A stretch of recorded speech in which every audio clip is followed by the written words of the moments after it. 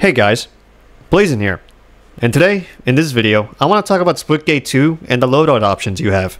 Uh, I just want to give my opinions on the guns that I've been using, and which I've used all of them. And I just want to give my subjective thoughts, I guess, on what attachments I'm working out, and my overall thoughts on the weapon sandbox. So let's do this. Alright, let's first start off with the Aeros weapon sandbox. Uh, I haven't really been using too much of the rush ability, I'll be honest. But let's start off with the primary weapons, of course, with the Cadence.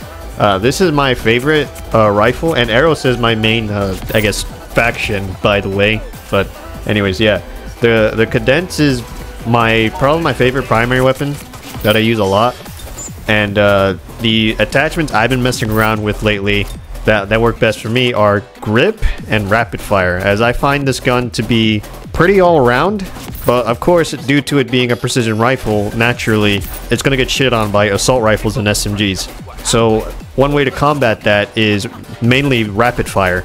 Rapid fire helps me combat the assault rifles and SMGs of the other classes, and grip just because, I mean, hey, why not? It's already an accurate weapon, but like I said, you're, you're getting rushed down with by assault rifles and SMGs. You're going to want maybe that extra accuracy to help you out, so you have to deal with the recoil on top of getting, you know, getting full autoed by other weapons. Uh, extended mag, I do not recommend for the Cadence. As, as a matter of fact, in my opinion, extended mag might be the weakest attachment to put on any gun right now.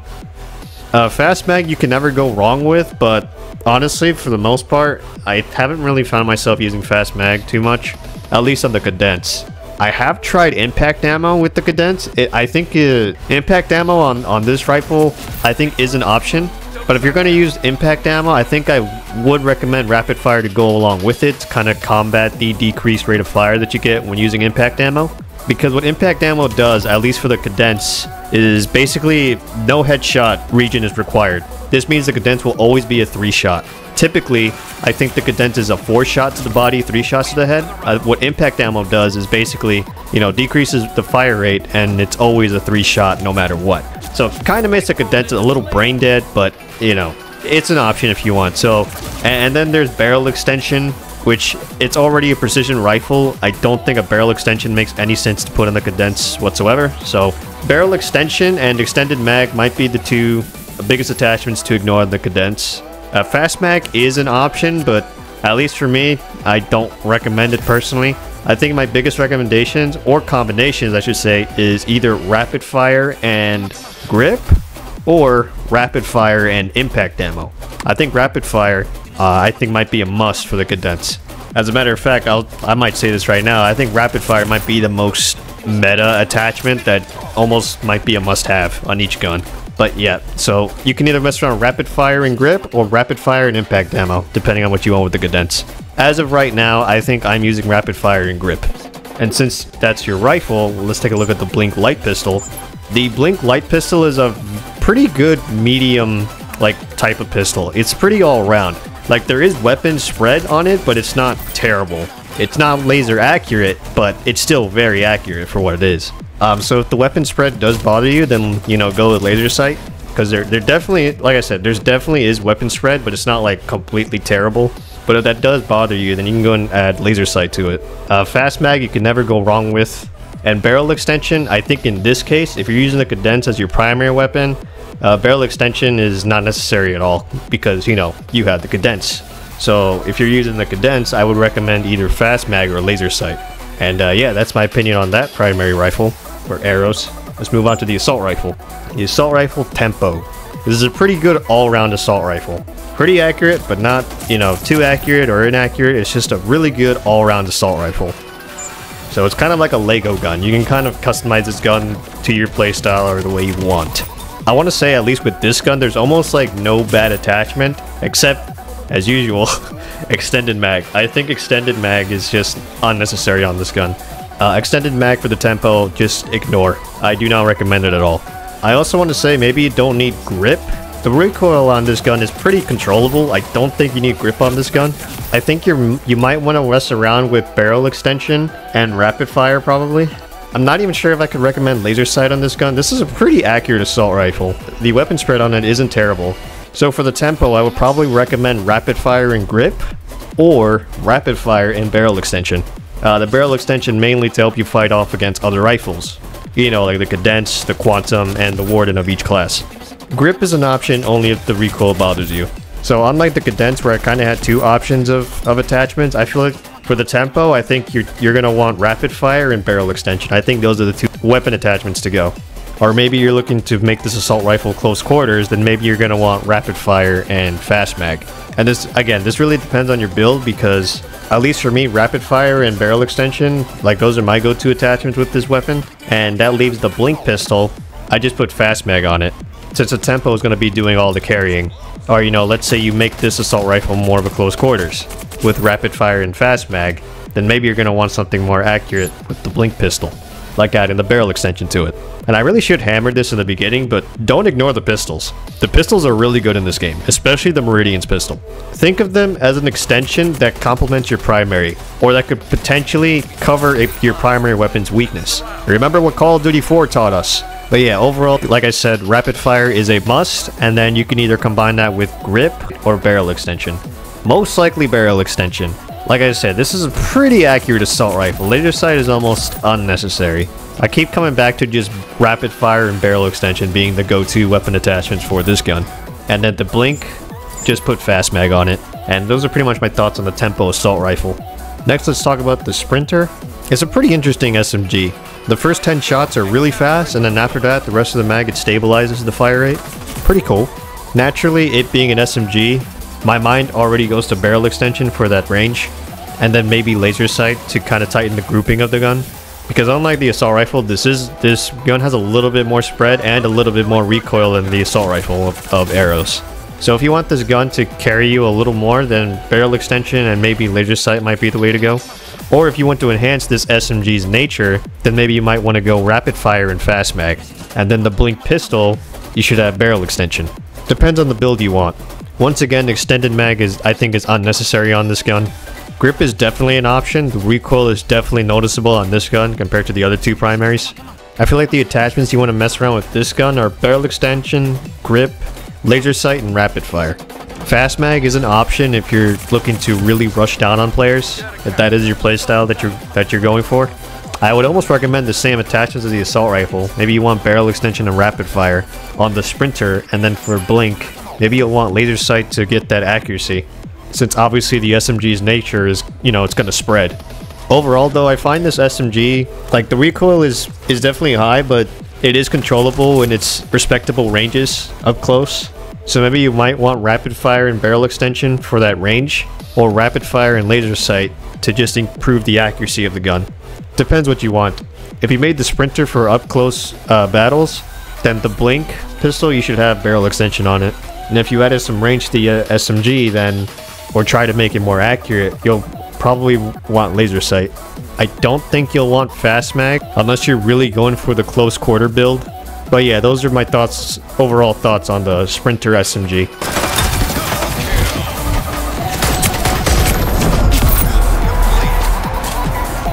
Counted, strong capture.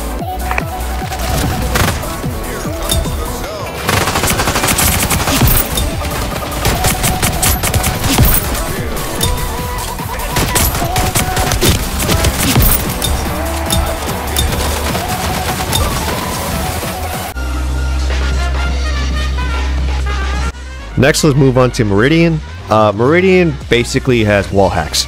And the first primary we're going to start off is with the Synapse Assault Rifle, which is essentially the plasma rifle. Uh, compare this to the Tempo Assault Rifle from Aeros. Uh, this assault rifle kind of requires a little bit more accuracy from you, uh, the player, as the margin of error when the weapon spreads is a just slightly or a little more unforgiving. You kind of have to hit your shots a little bit more with this gun than the Tempo Assault Rifle. But the gun kind of makes up for that with its high rate of fire. So as far as attachments that I've been using is once again rapid fire and barrel extension. So barrel extension is an option to use. Rapid fire, as I'll always say, is pretty much a must. Extended mag is unnecessary. I mean, it already has 35 rounds. Fast mag you can never go wrong with. I think laser sight is unnecessary on this assault rifle. It's already pretty accurate, so I don't recommend laser sight or extended mag uh, on this gun either have rapid fire and barrel extension or rapid fire and grip. Uh, that's all that needs to be said about this gun. It's it's uh more laser accurate than the Tempo Assault Rifle, but at the cost of it, you know, when the weapon starts to spread, the margin of error is a little bit more unforgiving, so you, you want to hit your shots more with this gun. But the higher rate of fire than the Tempo kind of makes up for it a little bit. Overall, really good assault rifle. In fact, this is what I use when I play Meridian. Those are my quick thoughts on the Synapse. It's a very good gun. And uh, since this is laser accurate, let's talk about the Helios pistol real quick. This is the best pistol out of the three classes. It's really good.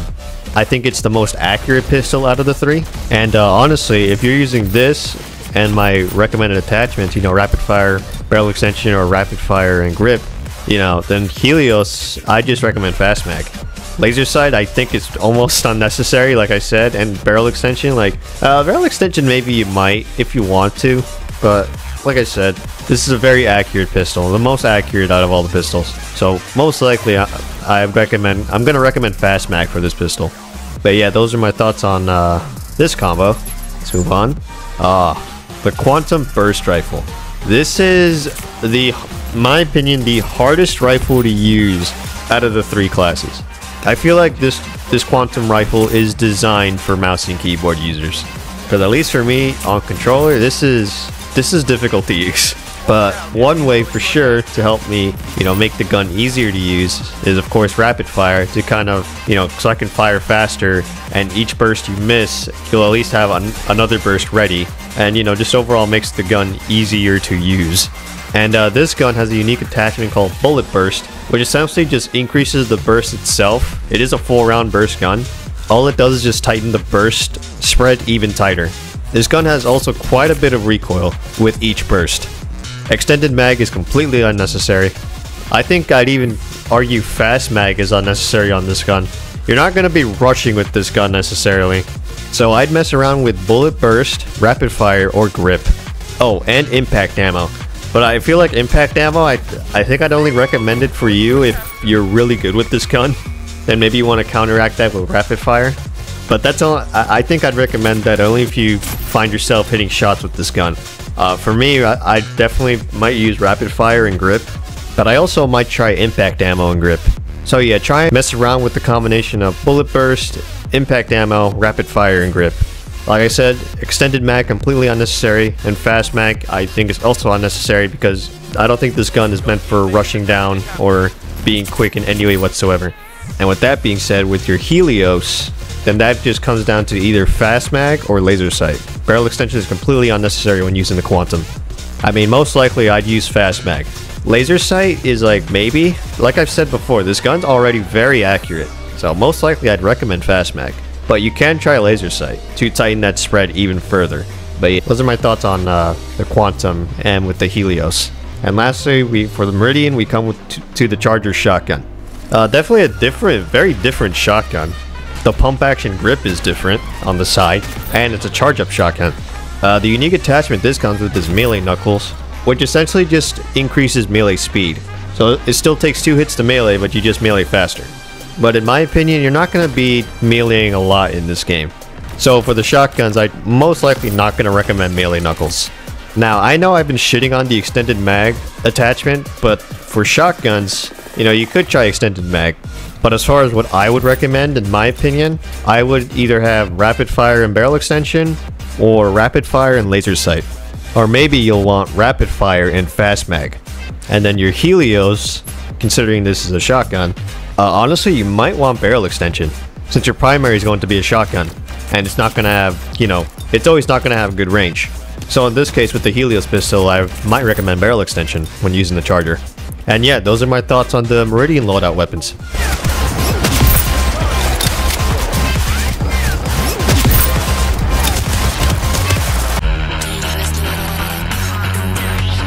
And finally, we come to Sabrask. Uh, this is the last faction in the game, and uh, what he does is essentially just drops down what's called a smart wall, and it's essentially your typical sci-fi shield where, you know, you could shoot your way, but the enemy team can't shoot back at you. So that's what he has, and the first primary weapon he has is the Warden. Now, the Warden is... I like to call it the more brain-dead Cadence, because essentially it is similar to the Cadence from Aeros, but no headshot is required already. Like it's already a three shot no matter what. The Cadence I think is four shots to the body, three shots to the head. This gun, I think, is just three shots all around. It doesn't matter. So that kind of makes the rifle a little brain dead, but it is kind of balanced out a little bit by the fact that it has two more or less shots. The Cadence has 12 rounds in the mag. This gun has 10 shots in the mag. Uh, its recoil is also slightly higher, and its fire rate is slightly slower. So it's got a oh, and its reload speed is really slow. So it's got a few things to counterbalance that a little bit. But yeah, those are my quick thoughts on the Warden by default. And this might be the one gun that I might recommend extended mag if you want it. I mean, 10 rounds is pretty low, but hey, considering that you don't need a headshot required, and it only takes 3 shots no matter what, it's not that bad. And if it does bother you, extended mag, I, I would say is an option for this gun. Uh, fast mag, again, if you want it. The reload is pretty slow on this gun. It's the slowest reload out of out of the three precision rifles. So if that reload speed does bother you, then go ahead and use fast mag if you want. I almost don't recommend impact ammo for this gun. I don't think it makes it a two-shot or anything, at least as far as I'm aware. If anything, it, I think it's still a three-shot kill, but more damage added with the slower rate of fire. I might not recommend impact ammo for this gun. So once again, either rapid fire and grip, because this gun has the has a slower rate of fire than the cadence. So either rapid fire and grip. So most likely the go-to attachments are going to be rapid fire and grip to increase that slow fire rate and to calm down that recoil. Or if the recoil doesn't bother you, if you can manage the recoil, maybe you can try rapid fire and impact ammo. And if that reload speed bothers you, then maybe you can try rapid fire and fast mag to counter that really slow reload speed. So those are my quick thoughts on the Warden. Let's talk about the Slinger pistol. Uh, out of the three pistols, from my experience, this seems to be the most inaccurate pistol out of the three. I think it does the most damage, but it is also the most inaccurate. so maybe if you're using it in combination with the Warden, I think you might want laser sight on it to tighten that spread. And uh, yeah, that's all I got to say on this combo. Moving on, the Trailblazer. This assault rifle I feel like is just as accurate as the Synapse assault rifle from Meridian, but with one downside, and that's the fact that out of the three assault rifles, this AR has the most amount of recoil.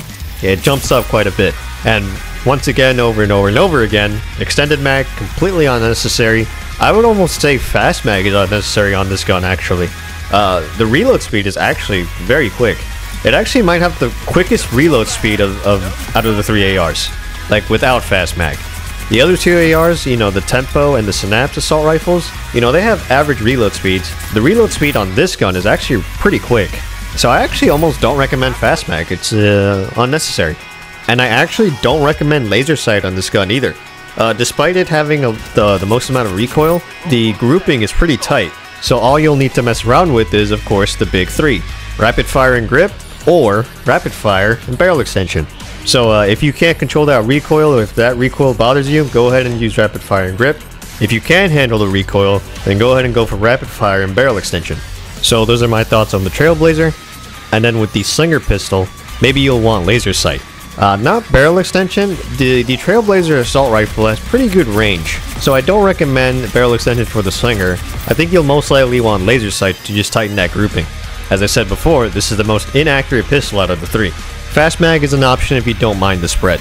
And uh, yep, those are my thoughts on that combo. Let's move on to the final weapon, the Plow Shotgun. So this is your traditional shotgun, and much like the Charger shotgun, you could try extended mag or fast mag, one of the two. I don't recommend both, but one of the two if you want. Most likely I'd recommend fast mag, the reload is pretty slow. Melee knuckles completely unnecessary in my opinion, Barrel extension is always an option, especially for a shotgun. Laser sight, it kind of depends. If you're hitting your shots, then go ahead and use laser sight. If you find yourself missing, then maybe I don't recommend laser sight. Rapid fire is meta, it's a must-have on basically every gun. So you can either try rapid fire laser sight, or rapid fire barrel extension, or, if that reload bothers you, rapid fire and fast mag. And since your primary is a shotgun, your Slinger pistol you'll most likely want either barrel extension or laser sight. It's kind of funny, out of the Blink and Helios pistols from Aeros and Meridian, I almost don't recommend fast mag on Slinger. I would most likely recommend laser sight or barrel extension just due to the fact that this pistol can be more inaccurate than the other two. So either go with barrel extension or laser sight with the Slinger pistol, depending on what you feel. And uh, those are my thoughts on that combo of weapons. And uh, that's pretty much it, guys. Those are my thoughts on all the loadout weapons in the game and their attachments. And I didn't really go over the equipment and perks because at this point, uh, it, it, kind of comes down to playstyle and preference. Uh, I hope you guys enjoyed. If you did, please leave a like button. Share the video around to let people know that Splitgate 2 exists. Could be a new first person shooter you'll enjoy. I tried to remain objective in this video. I do have some gripes and maybe some negative thoughts that I'll give in another video.